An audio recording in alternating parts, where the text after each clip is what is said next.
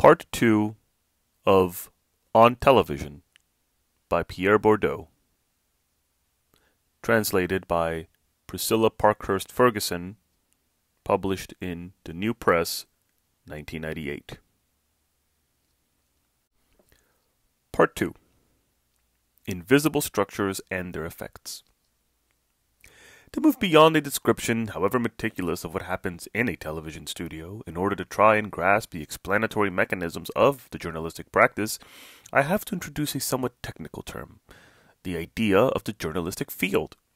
Journalism is a microcosm with its own laws, defined both by its position in the world at large and by the attractions and repulsions to which it is subject from other such microcosms. To say that it is an independent or autonomous it has its own laws, is to say that what happens in it cannot be understood by looking only at external factors. That is why I did not want to explain what happens in journalism as a function of economic factors. What happens on TF1 cannot be explained simply by the fact that it is owned by the Bouygues Holding Company. Any explanation that didn't take this fact into account would obviously be inadequate. But an explanation based solely on it would be just as inadequate more inadequate still perhaps, precisely because it would seem adequate. This half baked version of materialism associated with Marxism condemns, without shedding light anywhere, and ultimately explains nothing. Market share and competition. To understand what goes on at TF1, you have to take into account everything that TF1 owes to its location in a universe of objective relations between the different competitive television networks. You also have to recognize that the form this competition takes is defined invisibly by unperceived power relations. That can be grasped through indicators like market share, the weight given to advertising, the collective capital of high status journalists, and so on. In other words, not only are there interactions between these news media, between people who do or do not speak to each other, people who influence each other and read each other's work, everything on which I've touched up until now, there are also completely invisible power relations. These invisible power relations mean that in order to understand what goes on at TF1 or Arte, you have to take into account the totality of the objective power relations that structure the field. In the field of economic enterprises, for example, a very powerful company has the power to alter virtually the entire economic playing field by lowering its prices and setting up a sort of entry barrier. It can forestall the entry into the market of new enterprises. These effects are not necessarily deliberate or intended. TF1 transformed television simply by accumulating a set of specific powers that influence this universe and are translated into an increased share of the market. Neither the viewers nor the journalists are able to see this structure. Journalists see its effects, but they don't see the extent to which the relative weight of the institution for which they work weighs on them, on their place within it, and their own ability to affect this same institution. To try and understand what journalists are able to do, you have to keep in mind a series of parameters. First, the relative position of the particular news medium, whether it's TF1 or Le Monde, and second, the positions occupied by journalists themselves within the space occupied by their respective newspapers or networks. A field is a structured social space, a field of forces, a force field. It contains people who dominate and others who are dominated. Constant, permanent relationships of inequality operate inside this space, which, at the same time, becomes a space in which the various actors struggle for the transformation or preservation of the field. All the individuals in this universe bring to the competition all the relative power at their disposal. It is this power that defines their position in the field, and, as a result, their strategies. Economic competition between networks or newspapers for viewers, readers, or for market share takes place concretely in the form of a contest between journalists. This contest has its own specific stakes the scoop, the exclusive, professional reputations, and so on. This kind of competition is neither experienced nor thought of as a struggle purely for economic gain. Even though it remains subject to pressures deriving from the position, the news medium itself occupies within a larger set of economic and symbolic power relations. Today, invisible but objective relations connect people and parties who may never meet. Say, the very serious monthly Le Monde Diplomatique at one extreme, and the TF1 television channel at the other. Nevertheless, in everything these entities do, they are led, consciously or unconsciously, to take into account the same pressures and effects, because they belong to the same world. In other words, if I want to find out what one or another journalist is going to say or write, or will find obvious or unthinkable, normal or worthless, I have to know the position that journalist occupies in this space. I need to know as well the specific power of the news medium in question. This impact can be measured by indicators such as the economic weight it pulls, that is, its share of the market, but its symbolic weight also comes into play, and that is much more difficult to quantify. In fact, to be complete, the position of the national media field within the global media field would have to be taken into account. We'd also have to bring in the economic, technical, and especially the symbolic dominance of American television, which serves a good many journalists as both a model and a source of ideas, formulas, and tactics. To understand the structure better in its current form, it's a good idea to go back over how it was established. During the 1950s, in France, television was barely a factor in the journalistic field. Hardly anyone thought about TV.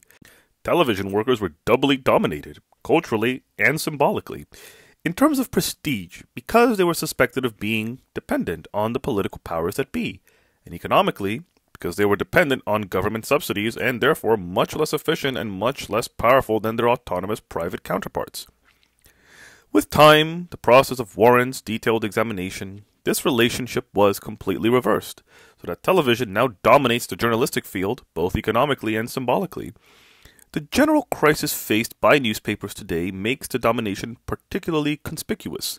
Some newspapers are simply folding, and others are forced to spend every minute worrying about their very survival, about getting their audience or getting it back. The most threatened, at least in France, are the papers that used to specialize in human interest stories or sports. They simply don't have much to offer against television programming that focuses more and more on sports and human interest stories, circumventing the rules set by serious journalism, which puts, or used to put, on the front page foreign affairs, politics, even political analysis, giving less replacement to human interest stories and sports. Of course, this description is a rough one. It would be necessary to go into much more detail to provide a social history of the evolving relationships between the different media as opposed to histories of a single newspaper or other news medium, something that unfortunately doesn't exist. It's on this level of structural history that the most important things appear. What counts in a field is relative weight, relative impact. A newspaper can remain absolutely the same, not lose a single reader, and yet be profoundly altered because its relative importance in the field has changed. For example, a newspaper ceases to dominate the field when it loses the power to lay down the law. It can certainly be said that Le Monde used to lay down the law in France in the world of print journalism. A field already existed, divided between the poles recognized by all historians of journalism, consisting of newspapers that give news, stories and events, and newspapers that give views, opinions and analysis. Between mass circulation newspapers such as France Soir and newspapers with relatively small circulation that are nonetheless endowed with a semi official authority, Le Monde was in a good position on both counts. It had a large enough circulation to draw advertisers, and it had enough symbolic capital to be an authority. It held both factors of power in the field simultaneously.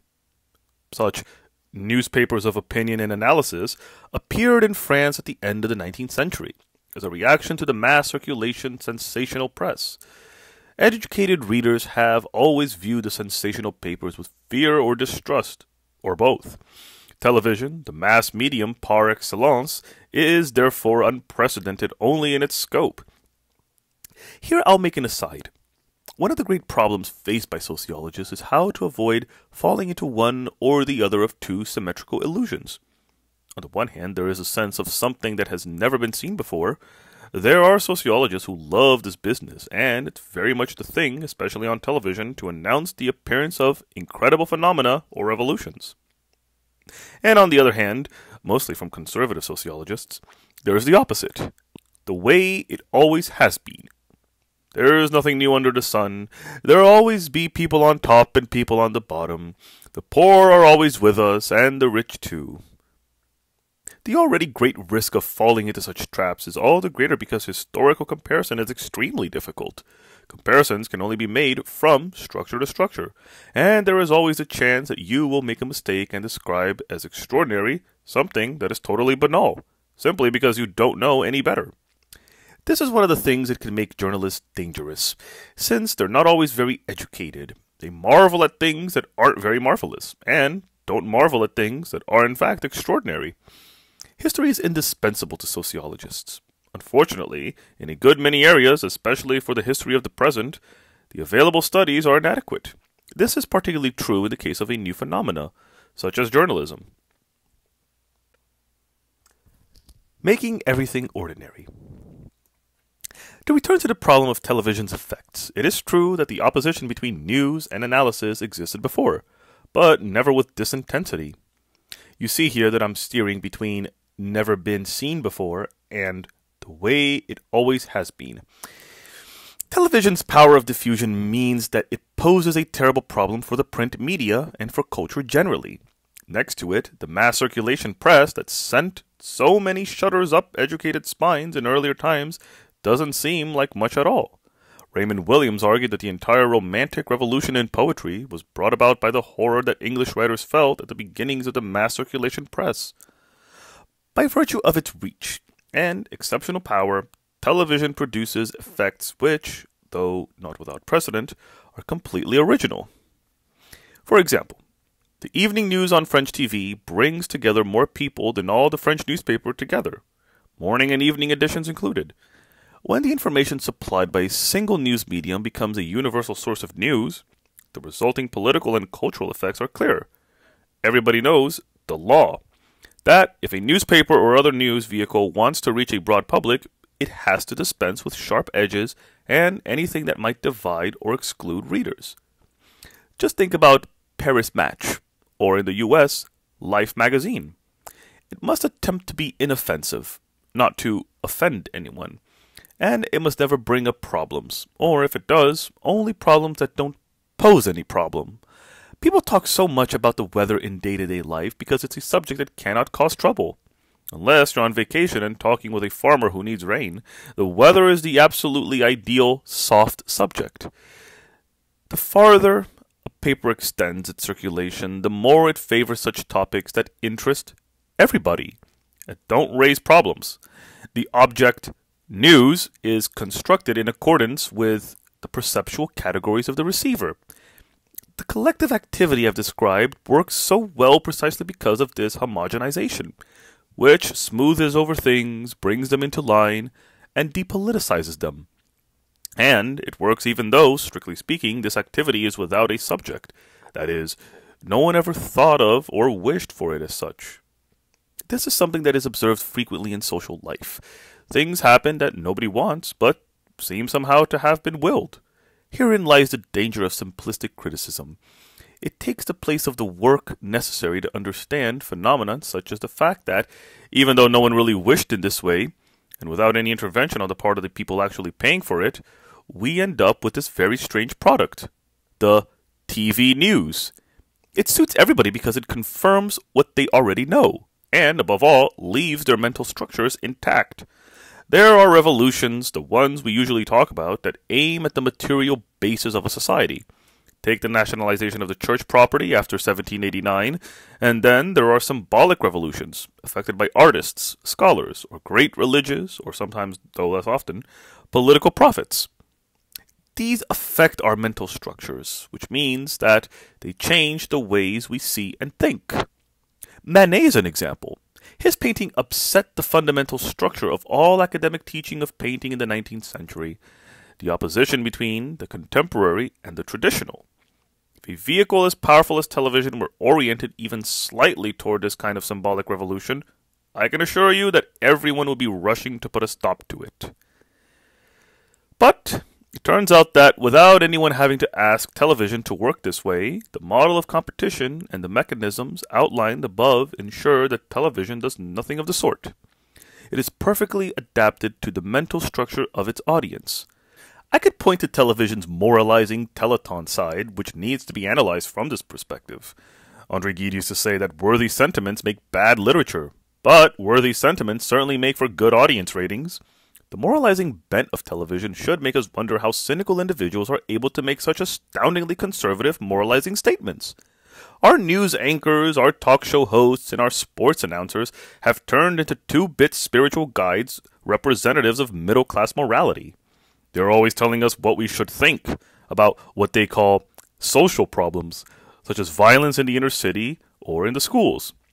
The same is true for art and literature, where the best known of the so called literary programs serve the establishment and ever more obsequiously promote social conformity and market values. Journalists, we should really say the journalistic field, owe their importance in society to their de facto monopoly on the large scale informational instruments of production and diffusion of information. Through these, they control the access of ordinary citizens, but also of other cultural producers, such as scholars, artists, and writers, to what is sometimes called public space, that is, the space of mass circulation. This is the monopoly that blocks the way whenever an individual or member of a group tries to get a given piece of news into broad circulation. Even though they occupy an inferior, dominated position in the fields of cultural production, journalists exercise a very particular form of domination, since they control the means of public expression. They control, in effect, public existence, one's ability to be recognized as a public figure obviously critical for politicians and certain intellectuals. This position means that at least the most important of these figures are treated with a respect that is often quite out of proportion with their intellectual merits. Moreover, they are able to use part of this power of consecration to their own benefit. Even the best known journalists occupy positions of structural inferiority vis a vis social categories such as intellectuals or politicians and journalists want nothing so much as to be part of the intellectual crowd. No doubt, this structural inferiority goes a long way to explain their tendency towards anti intellectualism. Nevertheless, they are able to dominate members of these superior categories on occasion. Above all, though, with their permanent access to public visibility, broad circulation, and mass diffusion, an access that was completely unthinkable for any cultural producer until television came into the picture. These journalists can impose on the whole of society their vision of the world, their conception of problems, and their point of view. The objection can be raised that the world of journalism is divided, differentiated, and diversified, and as such can very well represent all opinions and points of view, or let them be expressed. It is true that to break through journalism's protective shield, you can, to a certain extent, and provided you possess a minimum of symbolic capital on your own, play journalists and media off against one another. Yet it remains true that, like other fields, the journalistic field is based on a set of shared assumptions and beliefs, which reach beyond differences of position and opinion.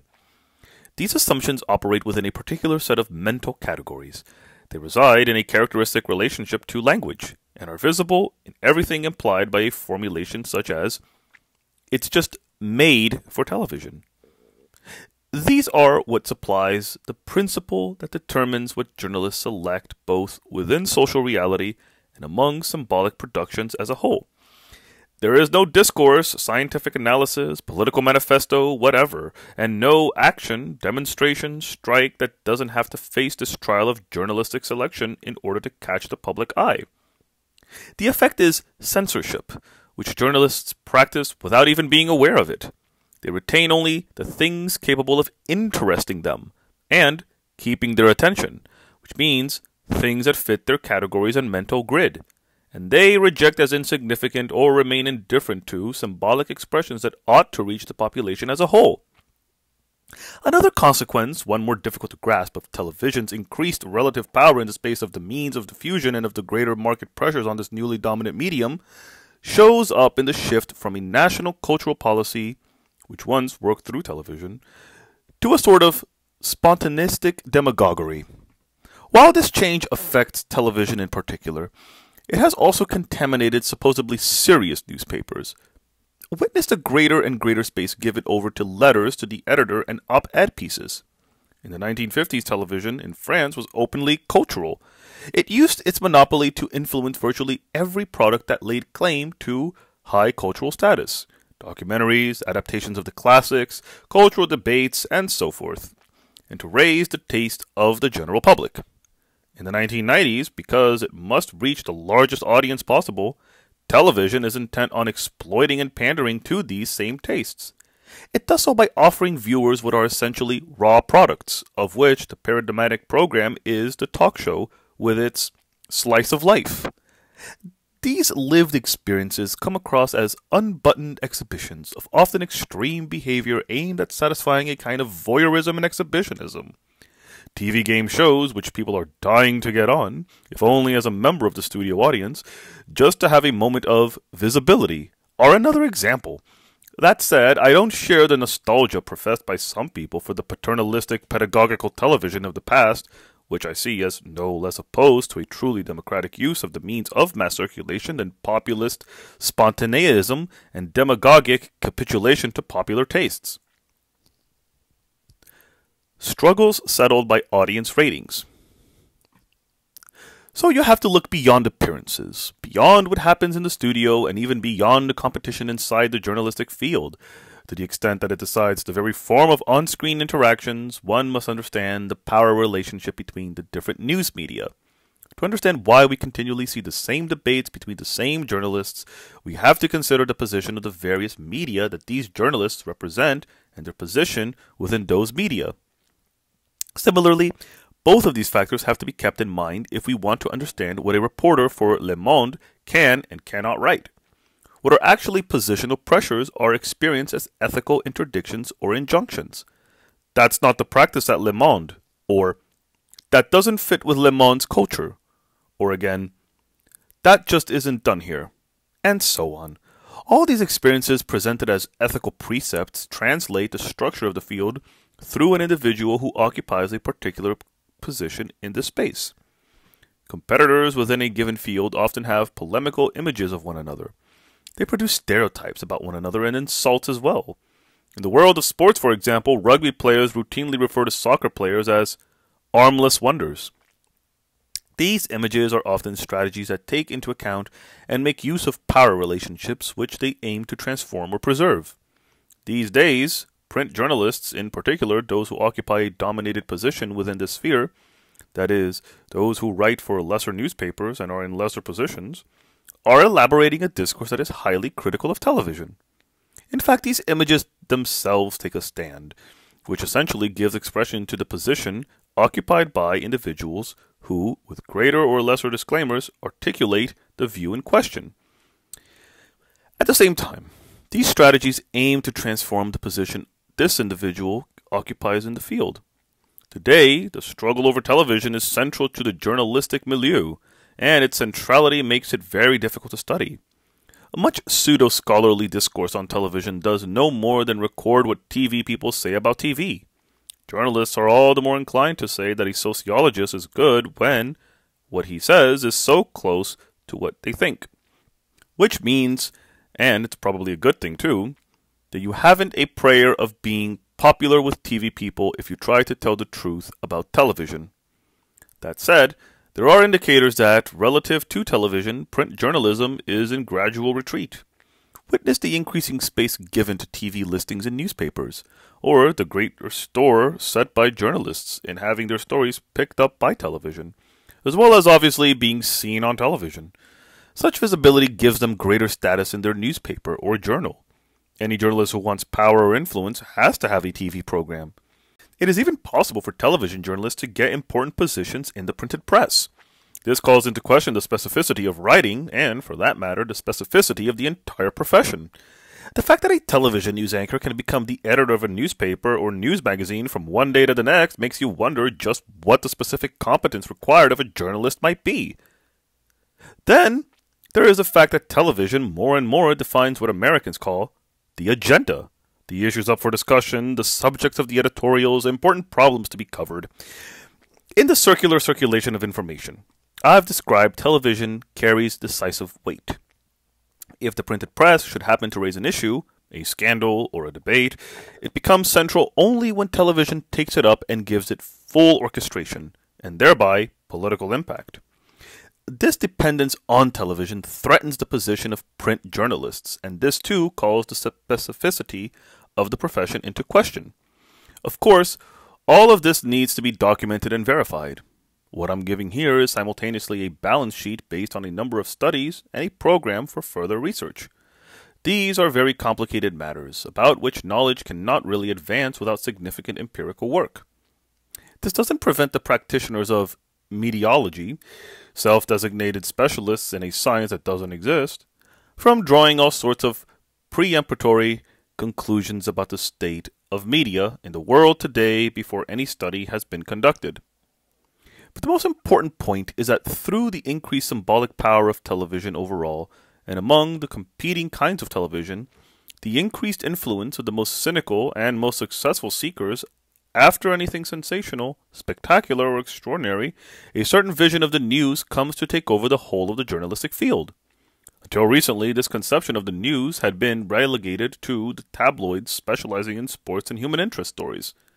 Similarly, a certain category of journalists recruited at great cost for their ability immediately to fulfill the expectations of the public that expects the least, journalists who are necessarily the most cynical, the most indifferent to any kind of structural analysis, and even more reluctant to engage in any inquiry that touches on politics, tends to impose on all journalists its values, its preferences, its ways of being and speaking, its human ideal.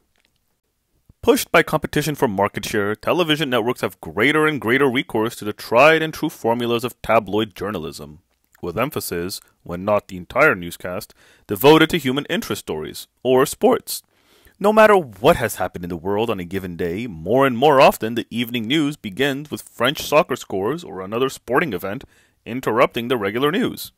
Or it will highlight the most anecdotal, ritualized political event visits of foreign heads of state, the president's trips abroad, and so on, or the natural disasters, accidents, fires, and the like. In short, the focus is on those things which are apt to arouse curiosity, but require no analysis, especially in the political sphere. As I've said, human interest stories create a political vacuum. They depoliticize and reduce what goes on in the world to the level of anecdote or scandal. This can occur on a national or international scale, especially with film stars or members of royal families, and is accomplished by fixing and keeping attention fixed on events without political consequences, but which are nonetheless dramatized so as to draw a lesson or be transformed into illustrations of social problems. This is where our TV philosophers are called in to give meaning to the meaningless anecdotal or fortuitous event that has been artificially brought to stage center and given significance. A headscarf worn to school, an assault on a school teacher, or any other social fact tailor made to arouse the pathos and indignation of some commentators or the tedious moralizing of others. This same search for sensational news, and hence market success, can also lead to the selection of stories that give free rein to the unbridled constructions of demagoguery, whether spontaneous or intentional. Or can stir up great excitement by catering to the most primitive drives and emotions, with stories of kidnapped children and scandals likely to arouse public indignation. Purely sentimental and therapeutic forms of mobilizing feelings can come into play but with murders of children or incidents tied to stigmatized groups, other forms of mobilization can also take place. Forms that are just as emotional but aggressive enough almost to qualify a symbolic lynching. It follows that the printed press today faces a choice.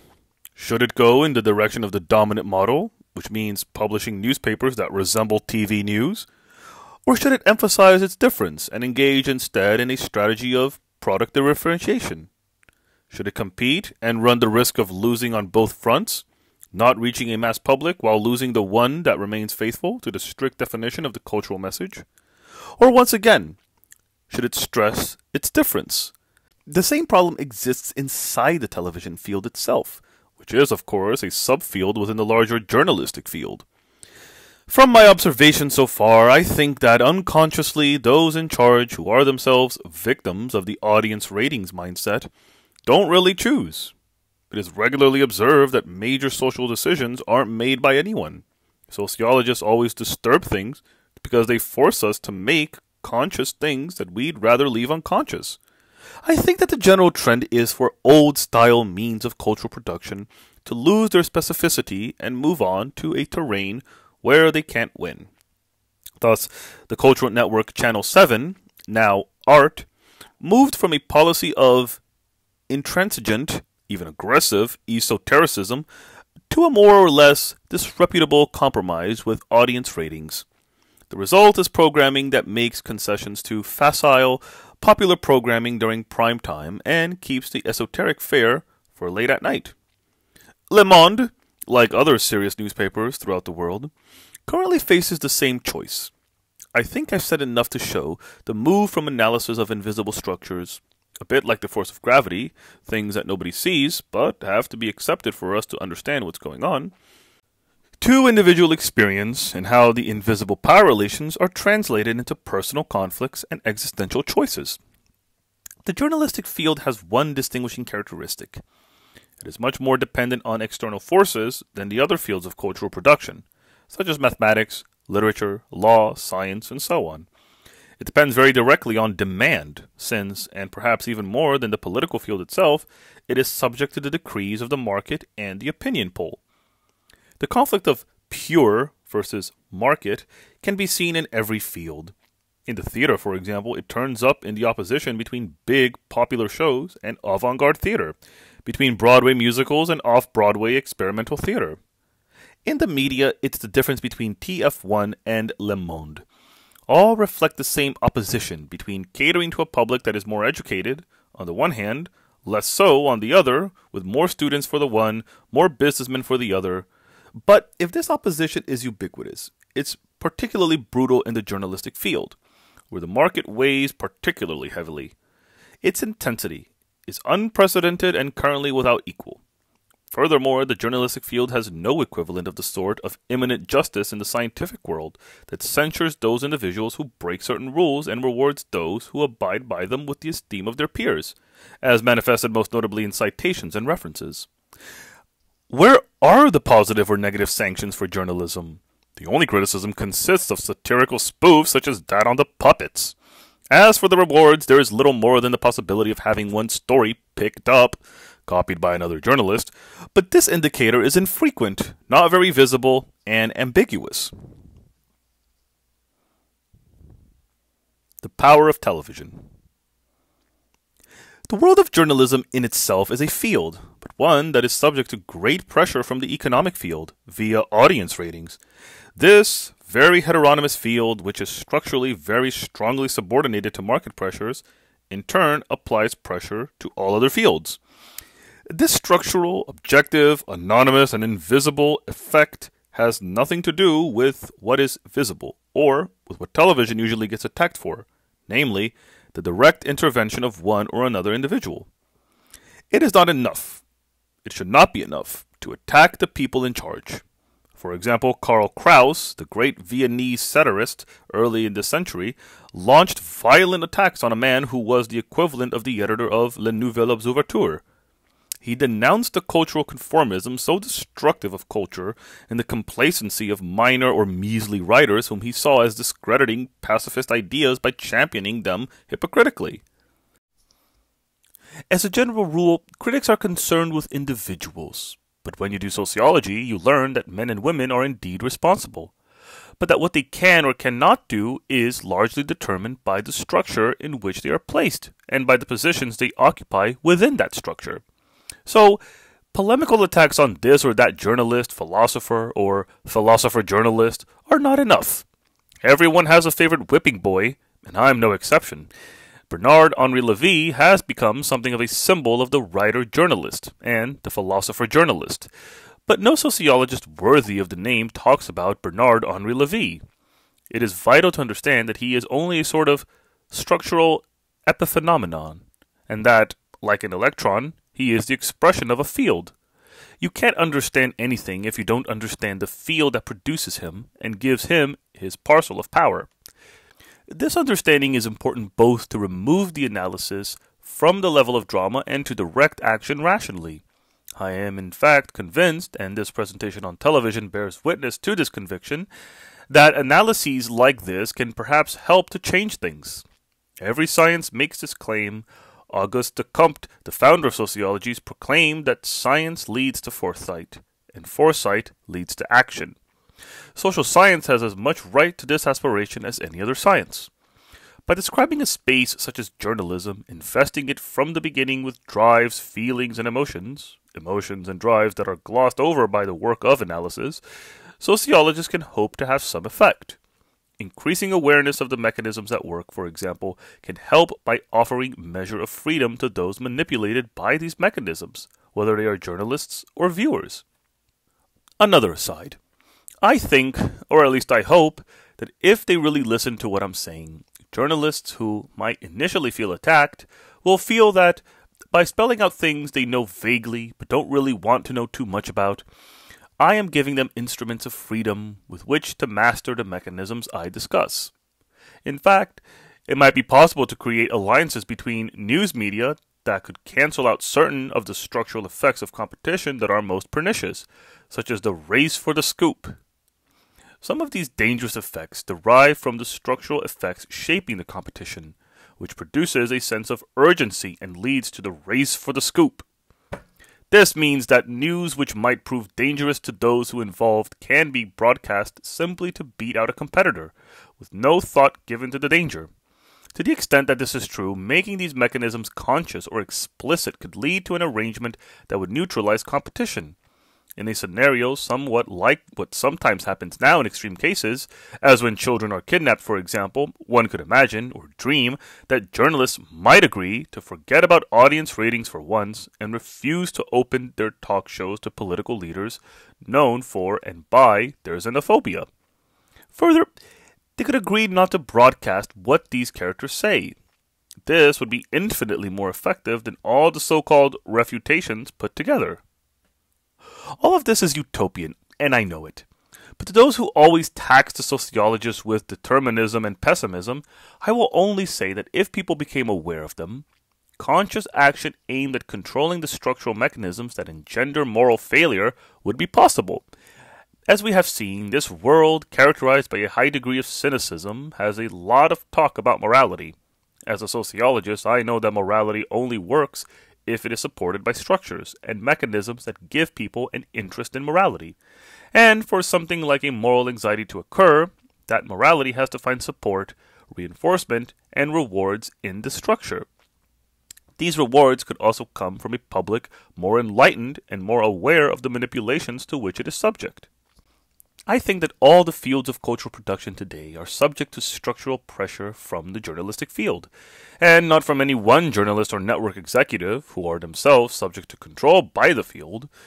This pressure exercises equivalent and systematic effects in every field. In other words, this journalistic field, which is more and more dominated by the market model, imposes its pressure more and more on other fields. Through pressure from audience ratings, economic forces weigh on television and through its effect on journalism, television weighs on newspapers and magazines, even the purest among them. The weight then falls on individual journalists, who little by little let themselves be drawn into television's orbit. In this way, through the weight exerted by the journalistic field, the economy weighs on all fields of cultural production. In a very interesting paper in a special issue on journalism of Actes de la recherche en sciences sociales, Rémi Lenoir shows how, in the juridical world, a certain number of hard hitting judges, not always the most respectable according to the norms internal to the juridical field, made use of television to change the power relations inside their field. Essentially, they short circuited internal hierarchies. This might be fine in some cases, but it can also endanger a stage of collective rationality that is achieved only with difficulty. Or more precisely, it calls into question everything that has been acquired and guaranteed by the autonomy of a juridical world able to set its model of rationality against the intuitive senses of justice and juridical common sense, both of which often give into appearances or emotion. Whether expressing their vision and their own values, or claiming in all good faith to represent popular feeling, journalists can influence judges, sometimes very directly. This has led to talk of a veritable transfer of the power to judge. An equivalent could also be found in science, where, as shown in the scandals analyzed by Patrick Champagne, the demagogic model, precisely the model of audience ratings, takes precedence over that of internal criticism. All this may appear quite abstract, In each field, the university, history, whatever, there are those who dominate and those who are dominated according to the values internal to that field. A good historian is someone good historians call a good historian. The whole business is circular by definition.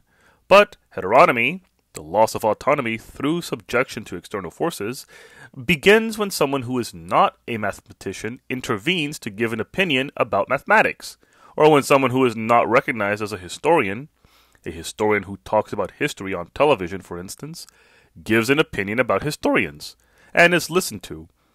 With the authority conferred by television, Mr. Cavada tells you that Mr. X is the greatest French philosopher.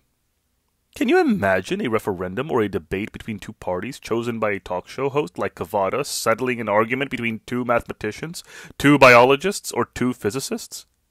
But the media never fail to offer their verdicts. The weekly magazines love this sort of thing, summing up the decade, giving the hit parade of the in intellectuals of the year, the month, the week, the intellectuals who count, the ones on their way up or on their way down. Why does this tactic meet with such success? Because these instruments let you play the intellectual stock market. They are used by intellectuals who are the shareholders in this enterprise. Often small shareholders, to be sure, but powerful in journalism or publishing, to increase the value of their shares. Encyclopedias and dictionaries of philosophers, of sociologists, or sociology of intellectuals, whatever, are and have always been instruments of power and consecration.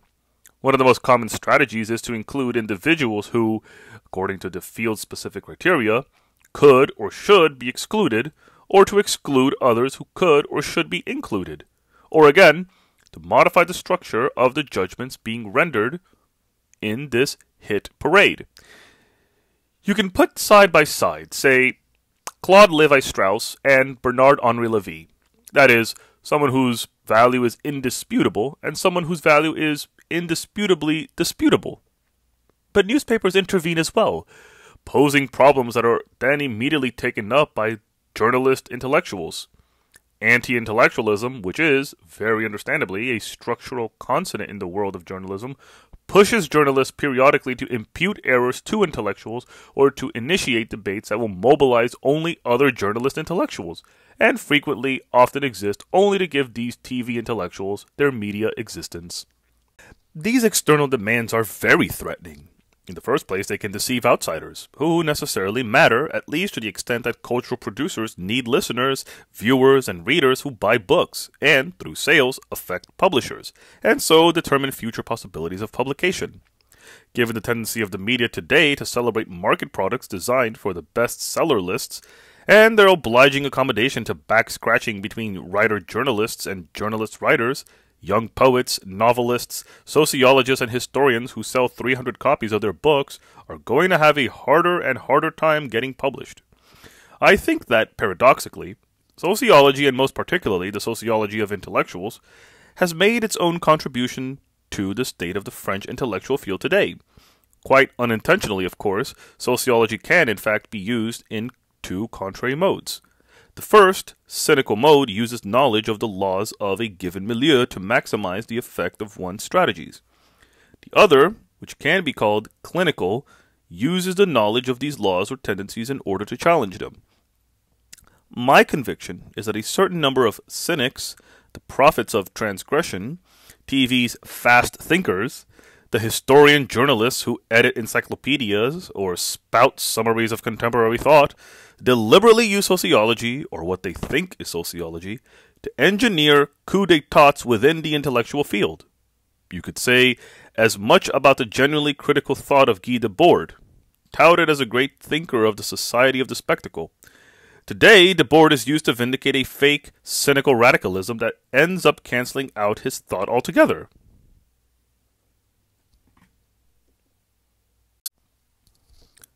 Collaboration.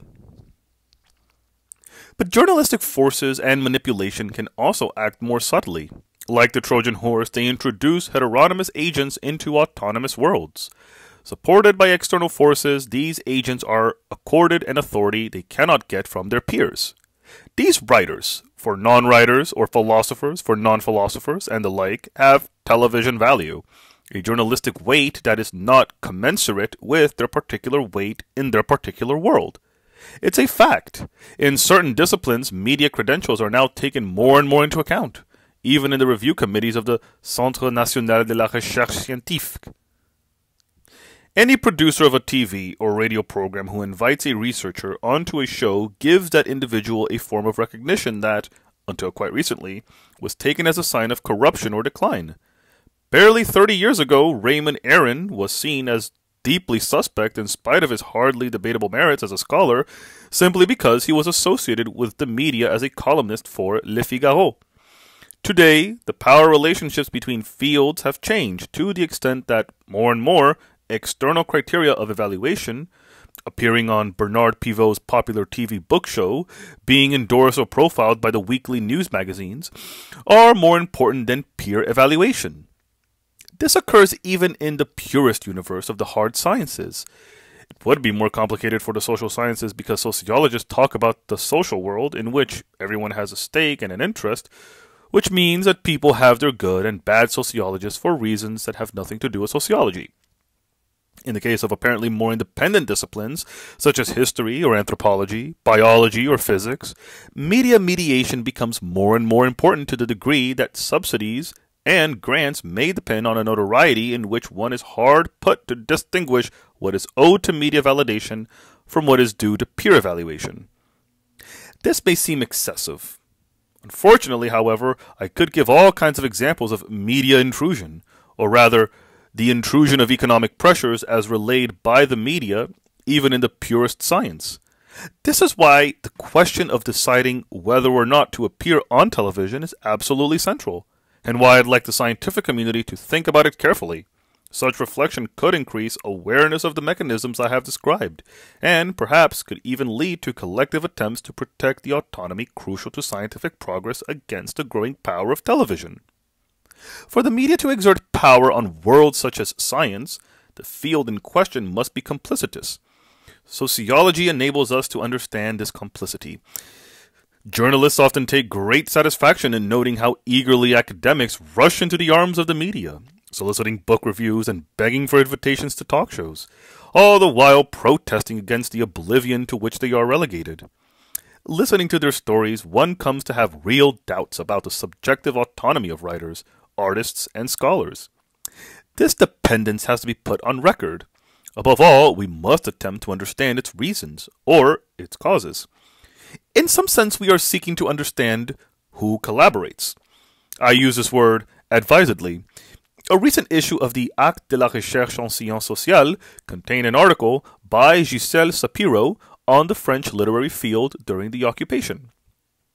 The goal of this fine analysis was not to say who was or who was not a collaborator, nor was it a retrospective settling of accounts. Rather, working from a certain number of variables, it attempted to understand why, at a given moment, writers chose one camp and not the other. In short, her analysis shows that the more people are recognized by their peers and are therefore rich in specific capital, the more likely they are to resist. Conversely, the more heteronomous they are in their literary practices, meaning drawn to market criteria, like Claude Farrère, a best selling author of exotic novels at the time whose counterparts are easily found today, the more inclined they are to collaborate. But I have to explain better what autonomous means. A highly autonomous field, mathematics for example, is one in which producers' sole consumers are their competitors. That is, individuals who could have made the discovery in question. I dream of sociology becoming like this, but unfortunately, everyone wants to get in on the act. Everybody thinks they know what sociology is, and Alain Peyrefitte thinks he has to give me sociology lessons. Well, why not, you may ask, since there are plenty of sociologists or historians only too happy to talk things over with him on television. Autonomy is achieved by constructing a sort of ivory tower inside of which people judge, criticize, and even fight each other, but with the appropriate weapons, properly scientific instruments, techniques, and methods.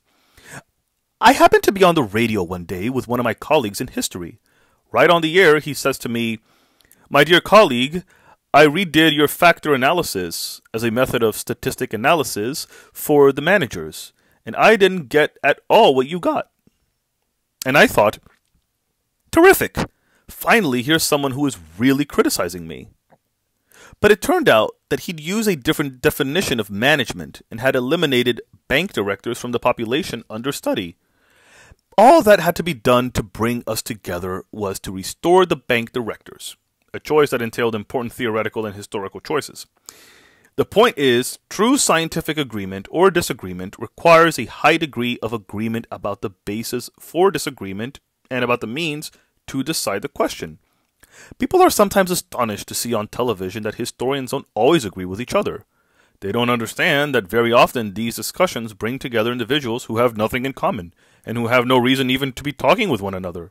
Somewhat as if you brought together, in just a sort of encounter bad journalist love, an astronomer and an astrologist, a chemist and an alchemist, or a sociologist of religion and a religious cult leader. From the choices made by French writers under the occupation can be derived a more general law. The more a cultural producer is autonomous, rich in specific capital from a given field, and exclusively integrated into the restricted market in which the only audience is competitors, the greater the inclination to resist. Conversely, the more producers aim for the mass market, like some essayists, writer journalists, and popular novelists, the more likely they are to collaborate with the powers that be the state, church, or party, and today, journalism and television, and to yield their demands or their orders. This law also applies to the present. The objection will be raised that collaborating with the media is not at all the same thing as collaborating with the Nazis. That's true, of course, and obviously, I do not condemn out of hand every kind of collaboration with newspapers, radio, or television, but from the viewpoint of factors inclining the individual to collaboration, Understood as unconditional submission to pressures destructive of the norms of autonomous fields, the analogy is striking. If the fields of science, politics, or literature are threatened by the power of the media, it's because of the presence within them of heteronomous individuals, people from the outside who have little authority from the viewpoint of the values specific to the field. To use the language of everyday life, these people are already or are about to become failures which means that they have an interest in heteronomy. It is in their interest to look outside the field for their authority, and the rewards, however precipitate, premature, and ephemeral, they did not get inside the field. Moreover, journalists think well of these individuals because they aren't afraid, as they are of more autonomous authors, of people who are ready to accept whatever is required of them. It seems to me indispensable to combat these heteronomous intellectuals. It's because they constitute the Trojan horse through which heteronomy, that is, the laws of the market and the economy, is brought into the field. The political field itself enjoys a certain autonomy. Parliament, for example, is an arena within which, in accordance with certain rules, debate and votes resolve disputes between individuals who supposedly articulate divergent or even antagonistic interests. Television produces in this field effects analogous to those it produces in other fields, the juridical field in particular. It challenges the rights of the field to autonomy.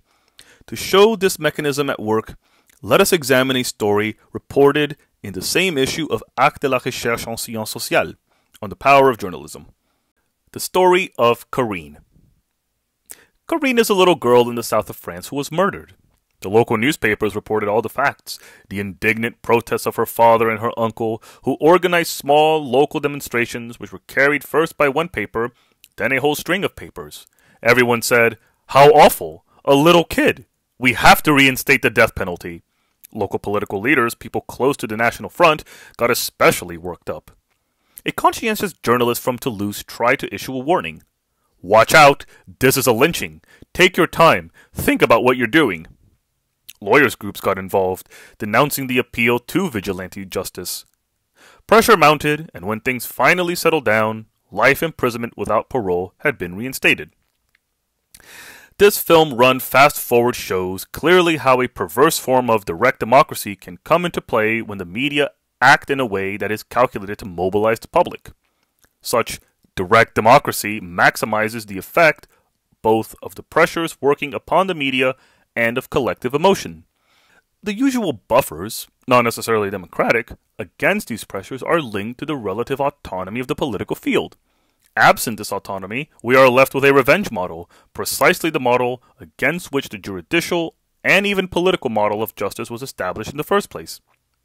It happens on occasion that, unable to maintain the distance necessary for reflection, journalists end up acting like the fireman who sets the fire.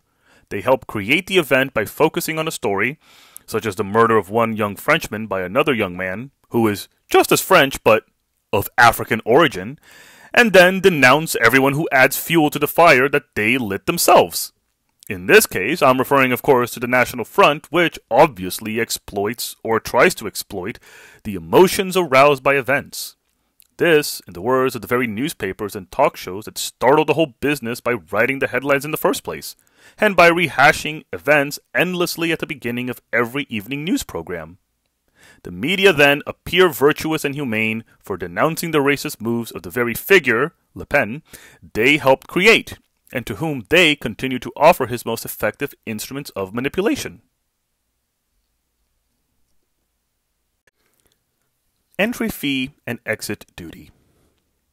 I'd now like to say a few words about the relations between esotericism and elitism. This has been a problem since the 19th century. Mallarmé, for example, the very symbol of the esoteric, a pure writer, writing for a few people in language unintelligible to ordinary mortals, was concerned throughout his whole life with giving back what he had mastered through his work as a poet. If the media today had existed in full force at the time, he would have wondered Shall I appear on TV? How can I reconcile the exigency of purity inherent in scientific and intellectual work, which necessarily leads to esotericism, with the democratic interest in making these achievements available to the greatest number? Earlier, I pointed out two effects of television. On the one hand, it lowers the entry fee in a certain number of fields philosophical, juridical, and so on it can designate a sociologist, writer, or philosopher people who haven't paid their dues from the viewpoint of the internal definition of the profession. On the other hand, television has the capacity to reach the greatest number of individuals.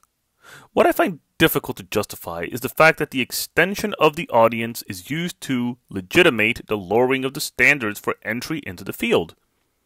People may object to this as elitism, a simple defense of the besieged citadel of big science and high culture, or even an attempt to close out ordinary people by trying to close off television to those who, with their honoraria and showy lifestyles, claim to be representatives of ordinary men and women on the pretext that they can be understood by these people and will get high audience ratings.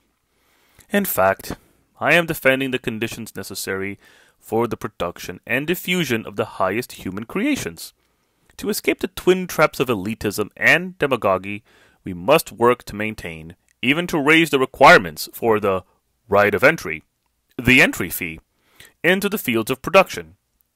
I have said that this is what I want for sociology, a field that suffers from the fact that the entry fee is too low, and we must reinforce the duty to get out, to share what we have found, while at the same time improving the conditions and the means for doing so.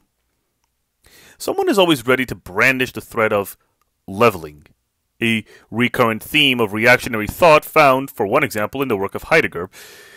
Leveling can in fact come from the intrusion of media demands into the fields of cultural production.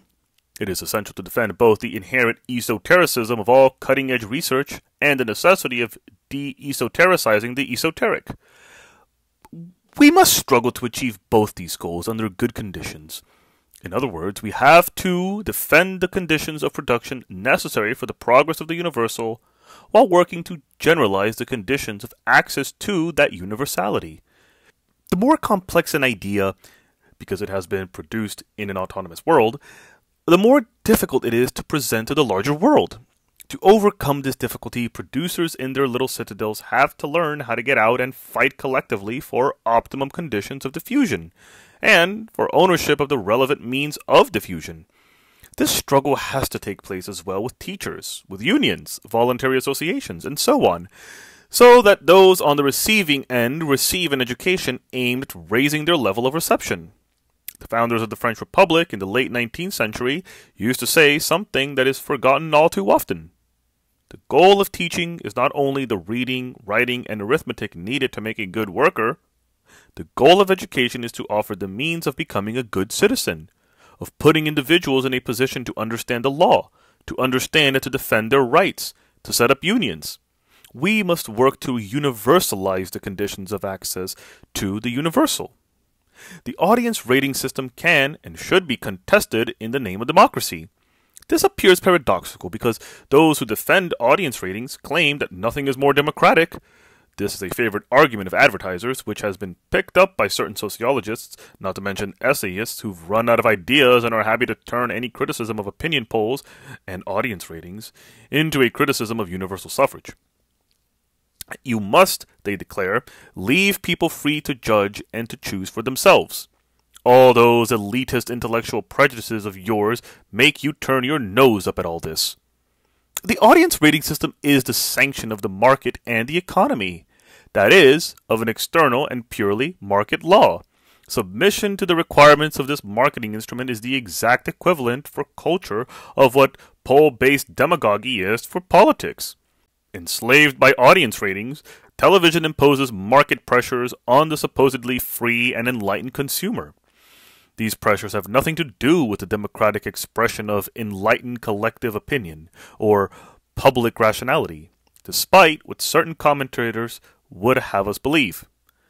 The failure of critical thinkers and organizations charged with articulating the interests of dominated individuals to think clearly about this problem only reinforces the mechanisms I have described. End of On Television by Pierre Bourdieu, translated by Priscilla Parkhurst Ferguson, published in The New Press, 1998.